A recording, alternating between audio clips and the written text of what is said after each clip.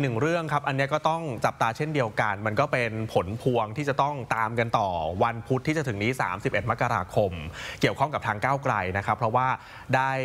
นัดในถึงว่าต้องฟังคำวินิจฉัยของสารรัฐธรรมนูญครับเนี่ยนะครับ เกี่ยวข้องกับคดีล้มล้างการปกครอง ทีนี้รอดูกันนะครับ เพราะว่า คดีก่อนหน้าที่เป็นเรื่องของคุณพิธา อันนั้นเป็นตัวบุคคลอ่าเออแล้วรอดไปแล้วด้วยนะครับแต่ว่าอันเนี้ยครับที่จะเกิดขึ้นในวันพุธนี้เนี่ยมันจะเชื่อมโยงกับพักด้วยอืมแม้ว่าศาลคำร้องอะมันอาจจะไม่ถึงขั้นวินิจฉัยว่ายุบพักในตอนนั้นเลยครับ แต่มันจะเป็นสารตั้งต้นในการที่จะทำให้คนอื่นไปร้องเพิ่มเติมได้อีก คือตอนนี้ก็มีความเห็นสองฝ่าย ฝ่ายหนึ่งโดยเฉพาะอย่างยิ่งผู้ถูกร้องอย่างก้าวไกล แล้วก็พลพรรคของเขาก็มองว่ามันเป็นหน้าที่ของสสใช่ไหมใช่ครับการที่จะยื่นแก้ไขกฎหมาย แต่ฝ่ายหนึ่งที่มองว่าไม่น่ารอดเขาก็มองว่าการแก้กฎหมาย แต่ดูเหมือนมีเจตนาล้มล้างการปกครองเนี่ยก็อาจจะเข้าข่ายเรื่องนี้เหมือนกัน เพราะฉะนั้นเนี่ยวันพุธเนี่ยก็ต้องดูกันดีๆใช่ครับแล้วก็ล่าสุดทางโฆษกของทางก้าวไกล คุณไอติมภริศวัชรศิลป์เองก็มาให้ข้อมูลนะครับจับตากันหน่อยเพราะว่านักข่าวก็ถาม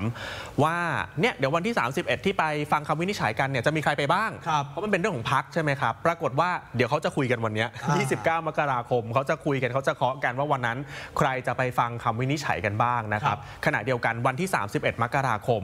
ก็มีงานของทางสภาด้วยเหมือนกัน ทีนี้ก็ต้องรอดูอะครับ คุณภริศวัชรศิลป์สสบัญชีรายชื่อ ในฐานะโฆษกพักก้าวไกลบอกแบบนี้อะครับ 31 มกราคมที่จะถึงนี้จะมีบุคคลของพักคนใดคนหนึ่งไปฟังคำวินิจฉัยบ้าง บอกว่าเรื่องนี้ต้องมีการหารือกันภายในพักก่อนนะครับ ก็จะคุยกันวันนี้เนี่ยแหละ แล้วจะมีการแจ้ง กับสังคมสาธารณชนให้ทราบอีกรอบหนึ่ง แต่ว่าวันนั้นเนี่ยวันที่นัดฟังคำวินิจฉัย 31 มกราคมมันจะมีการประชุมสภา ก็เลยคิดว่าหน้าที่สำคัญของสสของทางก้าวไกลก็คือทำหน้าที่ในสภาก่อนครับเนื่องจากคาดว่าจะมีการพิจารณารายงานเกี่ยวข้องกับระบบเลือกตั้งสมาชิกสภาร่าง รัฐธรรมนูญหรือว่าสสร รวมไปถึงยติที่มีความสัมพันธ์อีกหลายด้านด้วยนะครับถามว่ากังวลไหมในมุมของทางก้าวไกล ก้าวไกลยังยืนยันคำเดิมนะครับว่าพยายามทำอย่างเต็มที่ภายใต้ขอบเขตที่สามารถทำได้ ในการยืนยันความบริสุทธิ์ว่าการกระทำที่ผ่านมา ไม่ว่าจะพักก้าวไกล หรือว่าสสของพักไม่ได้มีการกระทำใดที่เข้าข่ายล้มล้างการปกครอง โดยเฉพาะ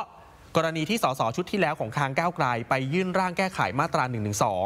ซึ่งเราก็ต้องยืนยันเช่นกันว่าการยื่นร่างกฎหมายดังกล่าว ไม่เข้าข่ายล้มล้างการปกครอง ทั้งในส่วนของกระบวนการที่เรามองว่าการยื่นกฎหมายใดๆก็ตาม ไม่สามารถนำไปสู่การล้มล้างการปกครองได้อยู่แล้ว เพราะเมื่อยื่นกฎหมายเข้าไป ยังมีอีกหลายขั้นตอนในการพิจารณาครับ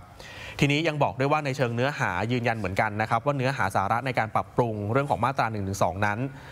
แม้จะมีเนื้อหาบางส่วนที่บางฝ่ายเห็นด้วยและไม่เห็นด้วย แต่ไม่ได้มีเนื้อหาส่วนไหนที่เข้าข่ายล้มล้างการปกครอง ไม่ว่าจะเป็นเนื้อหาเกี่ยวข้องกับการปรับอัตราโทษ หรือเหตุยกเว้นความผิดและโทษนะครับ ก็มั่นใจในเรื่องของหลักฐานที่มีที่ไปชี้แจงต่อศาลนะครับ ซึ่งคุณภาริศบอกว่าทำเต็มที่แล้วในการตอบคำถามชี้แจงข้อกล่าวหาผ่านกระบวนการ ทีนี้ ยังเชิญชวนด้วยนะครับ ให้ร่วมกันจับตาคำวินิจฉัยในครั้งนี้ เพราะคำวินิจฉัยไม่ได้ส่งผลแค่พักก้าวไกลอย่างเดียวครับคุณภาริศบอกว่ามันจะเป็นการวางบรรทัดฐานสำคัญสำหรับการเมืองไทยในอนาคต หวังว่าคำวินิจฉัยจะออกมายืนยันในสิ่งที่เราสื่อสารมาโดยตลอด ทีนี้ถามว่าคาดการณ์ฉากทัดต่อไปไว้หรือเปล่า ทั้งที่เป็นคุณและเป็นโทษ คุณภาริศบอกว่าทุกกรณีมีเหตุการณ์ที่อยู่เหนือการควบคุมของพักพักได้มีการประเมินทุกฉากทัดที่อาจจะเกิดขึ้น มีการวางแผนมีการออกแบบบริหารจัดการเอาไว้อยู่แล้วนะครับ ก็ทำทำบนพื้นฐานในทุกกรณีครับเท่าที่มี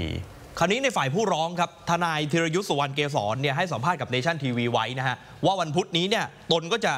ไปเข้าร่วมการรับฟังคำวินิจฉัยด้วยตนเองเหมือนกันนะครับ แต่คราวนี้เราพูดกันเรื่องถึงยุบพักไม่ยุบพักเนี่ยในส่วนของผู้ร้องเขาไม่ได้คิดไกลถึงขั้นนั้นนะเขาแค่เอาให้ชัดเจนก่อนเรื่องการกระทำในการเสนอแก้ไขม .112 เนี่ยเขาอยากให้ชัดเจนว่าการกระทำแบบเนี้ยนะฮะเดี๋ยวมันจะเป็นช่องให้บางฝ่ายใช้โอกาสนี้ในการกัดเซาะบ่อนทำลายสถาบันพระมหากษัตริย์ เลยต้องการจะปิดช่องตรงนี้เอาไว้ก่อน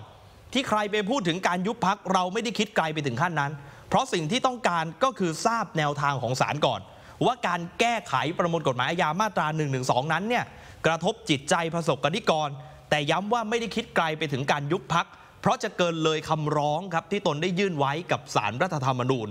และตัวเองก็ไม่ได้รู้สึกกังวลนะครับ เพราะหากวินิจฉัยของสารรัฐธรรมนูญที่จะออกมา 31 มกราคมนี้เนี่ยจะกลายเป็นชนวนหรือเป็นสารตั้งต้น ที่ให้คนอื่นนำไปสู่การยุบพักก้าวไกลในอนาคต ก็เป็นเพราะว่าองค์กรอิสระเขาก็ต้องทำหน้าที่ของตนเองอยู่แล้ว และก่อนหน้านี้ตนก็เคยยื่นเรื่องนี้ให้กับกกตและอายการสูงสุดมาแล้ว ระหว่างการไต่สวนศาลได้เรียกเอกสารจากหน่วยงานความมั่นคง และตนก็มั่นใจในพยานหลักฐานที่ยื่นไปด้วยครับ ใช่ครับก็